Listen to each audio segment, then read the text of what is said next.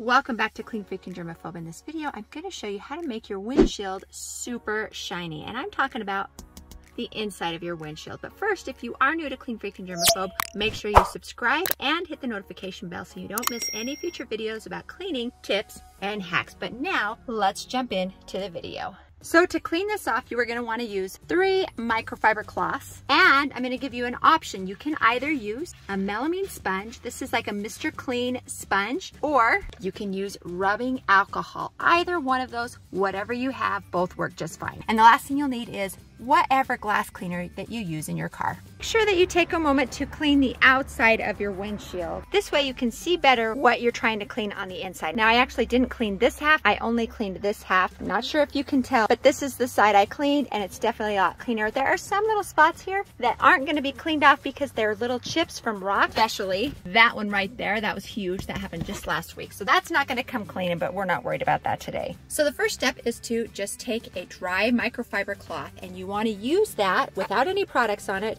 to wipe the windshield down. It's best to start in circular motions to clean the whole windshield and then flip your cloth over and then go back and forth up and down. Now I know it's really tough to get down at the corner where the vinyl meets the windshield. Just do the best you can. But what you don't want to do is let your microfiber cloth touch the dash. Like I told you, it already has oils in it, especially if you use any products that leave oil on your dash. You don't want that oil to get on your microfiber cloth. Otherwise, you're going to be putting that oil right back onto the windshield.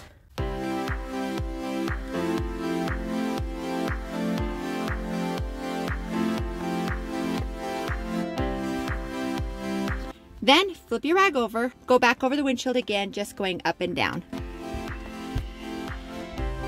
The next step is to get your melamine sponge and get it wet. And then squeeze out the excess water. The melamine sponge, or Mr. Clean if you will, does a really good job at picking up any grease and dirt that's on your windshield. So again, you're just gonna use circular motions. And you're gonna use that to clean the entire windshield. When you're done, grab a new microfiber cloth and you're gonna use this to go over and pick up all the residue that was left from the windshield.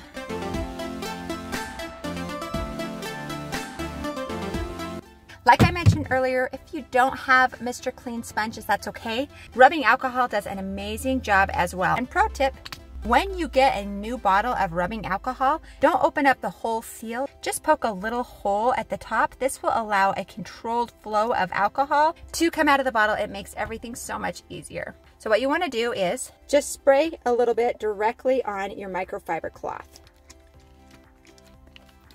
And then you're gonna use that to clean the grease and the oil off of your windshield. Both do a great job. Whichever you have is gonna work really well.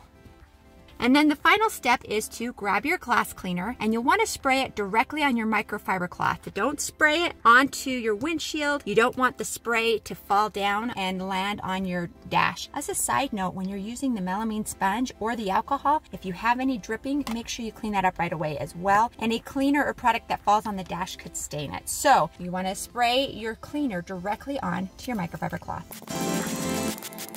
Then use this to give your final polish to your windshield.